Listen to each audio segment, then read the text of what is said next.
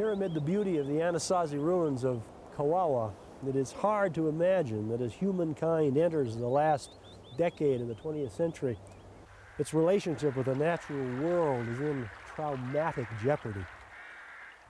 The greenhouse effect, ozone depletion, overpopulation have transformed the natural world from God's domain into a wretched human problem that must be solved. We are, as one writer put it, witnessing the end of nature as we know it. What are we to do? Where are we to look for help?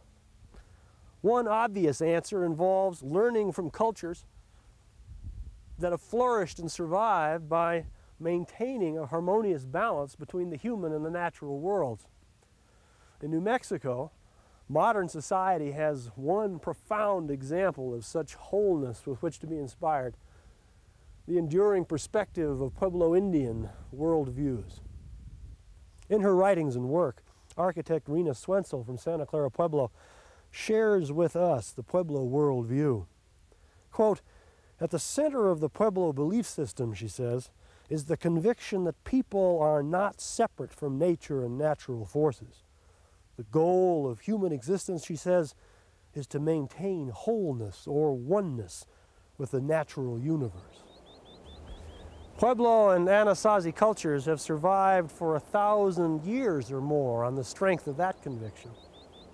They have constructed their towns and cities around the idea that the buildings humans make are just as much a part of nature as mountains and other landforms are. In other words, the earth is not an exploitable commodity for Pueblo peoples. It is a sacred space a concept which the modern world desperately needs to understand. But Pueblo peoples don't do any preaching about sacredness. They live it. Soft-spoken and understated, Rina Swentzell of Santa Clara Pueblo shares a cultural perspective with us of inestimable value to modern society as it struggles to survive its own abuse of the planet on which it lives and ultimately depends.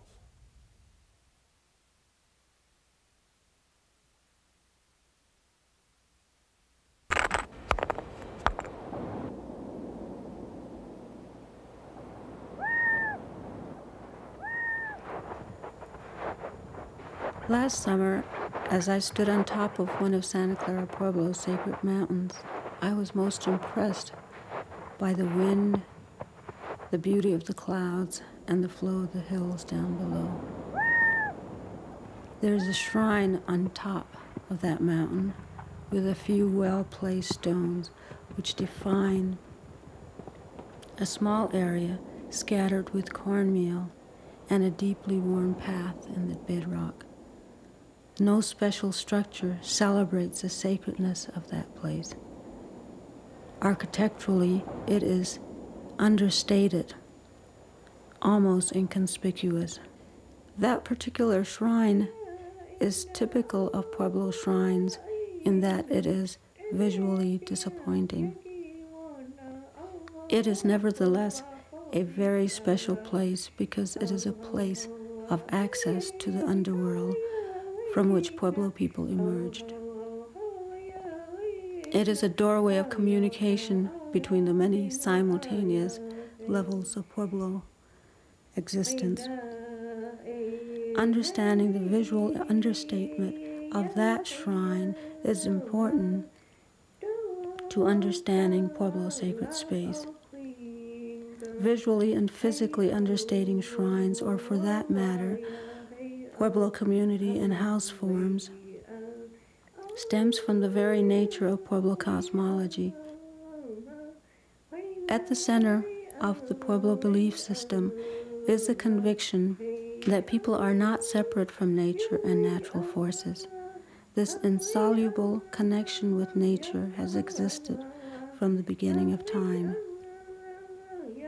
The goal of human existence is to maintain wholeness or oneness with the natural universe.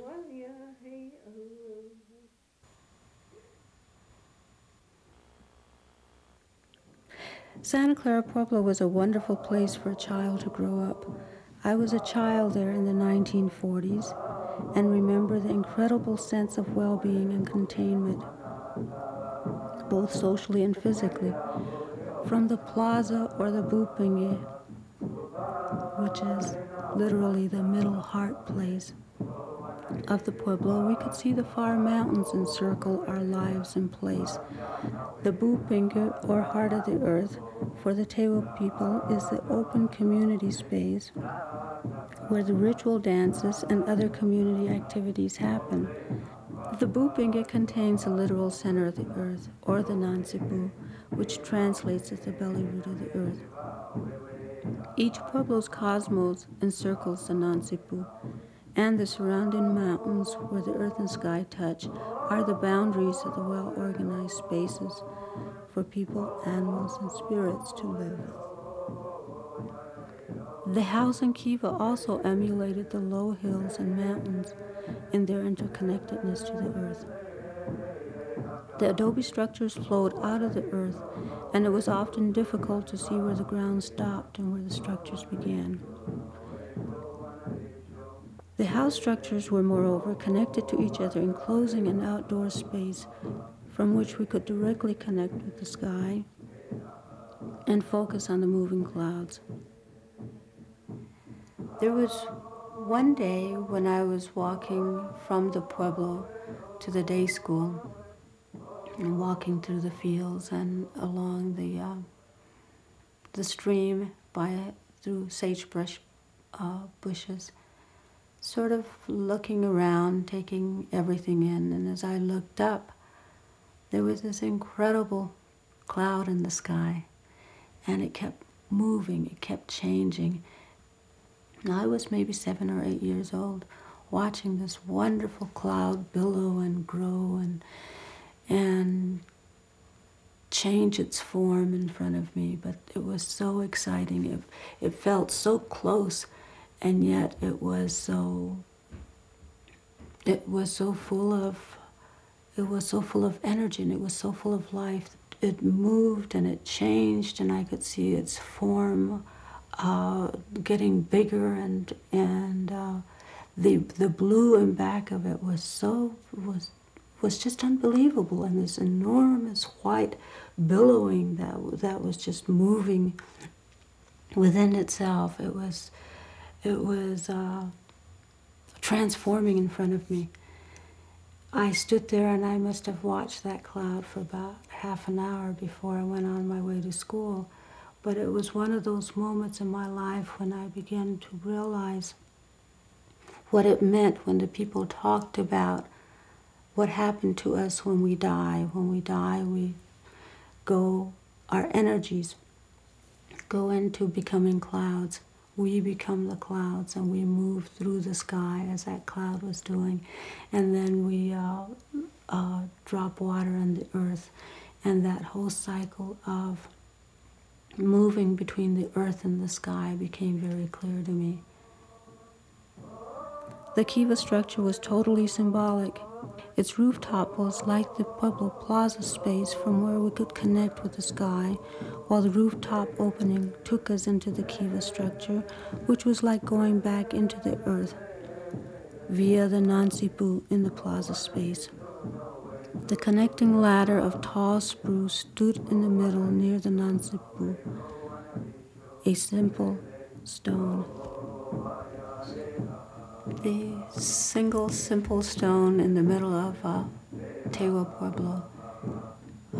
Extremely significant because it is the place that reminds us of where we came from. It is a place that we flow, where we flow back into the underworld, and it is that place out of which the out of which the breath flows. It is the place that we that we flow in and out of to connect with with the other levels of existence that are there simultaneous to this one. But usually, but usually all that marks that very incredible place in the earth is a gray stone that is not even special looking It's, it's just a stone that would be picked up in the fields, in the arroyo, or out by the river, where, wherever, and it, and it gets brought and placed there. And it is, it is the, it's the center of the world. Everything is organized to constantly remind us of the primary connections with the earth, sky, and other life forms. These primary connections are constantly reiterated. As at that shrine that I mentioned earlier, the Nansipu and other points of this well organized cosmos are marked by a very inconspicuous stone or grouping of stones. This physical understating of sacred places is typical of Pueblo thinking because it, it is believed that it is better to understate than overstate, to be one with everything rather than be separate or conspicuous. There is then little need to create or cause distinctions among people or objects or even places. Since everything, everybody, and every place is sacred and has essential worth, there is no need to individuate. The people and their world are sacred and indivisible. The shrines, boundary markers, and centers then serve as constant reminders of the religious symbolic nature of life. Pueblo people do live at the center of the universe. Their world is sacramental. It is a world thoroughly impregnated with the energy, purpose, and sense of the creative natural forces. It is all one. Sacredness, then, is recognizable in everyday life. The purpose of life for the Pueblo people is to be intimately connected with everything in the natural world. Directional forces of the world, of the world are cyclical and move in and out of the earth rather than upwards towards the heavens. Clay is talked to because it is the earth and shares in the flow of life. That flow described as Owaha, water, wind, breath, is the essence of life. Existence is not determined by a physical body or other physical manifestation, but by the breath, which is symbolized by the movement of water and the wind. It is the breath which flows without distinction through the entirety of animate and inanimate existences. It is movement, it is transformation, it is literally the breath. Every time we take a breath, we become the universe, we become the Oaha. Because it is the Oaha that gives expression to the universe. That's why we can talk about the world being non discriminatory, because we are all expressions of that breath and uh, the cosmos itself being an expression of the of the energy that flows through it. It is the it is life itself.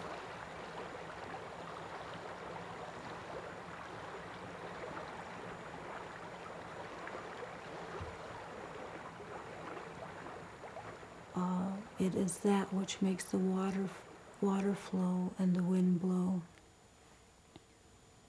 It is a movement in the in the world. The Oaha, then, is the creative force causing life, much as Christian God is the originator and creator of Christian existence.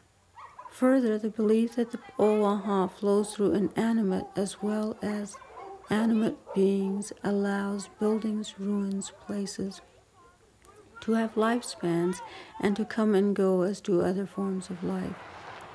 Buildings and defined spaces are allowed to have life and death.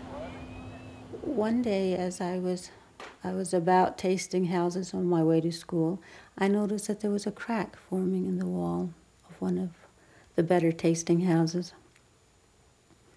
And uh, watched that, that crack uh, for a couple of days and saw that it kept getting bigger.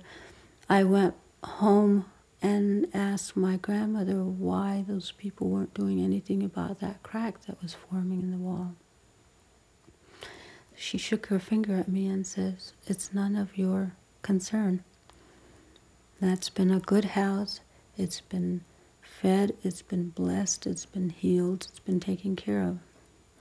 It served the people well, and it's now time for it to go back into the earth again.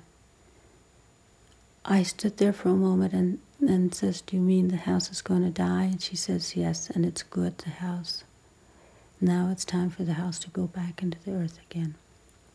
And that again, back to that notion of cycles again, that the greatest respect that you can pay any give to anybody, whether it's a tree, a plant, an animal, house, is that you allow them that cycle of life and death, the coming and going out of the earth.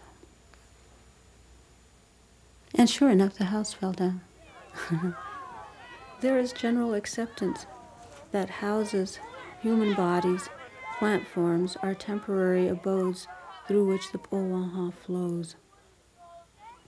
They share in the essence of life, which gives them cycles of life, birth and death. Traditional Santa Clara Pueblo, with its soluble mud structures, is an organic unit, expanding, contracting, and changing with other life forms and forces. The older I get, and as I watch how the world is changing,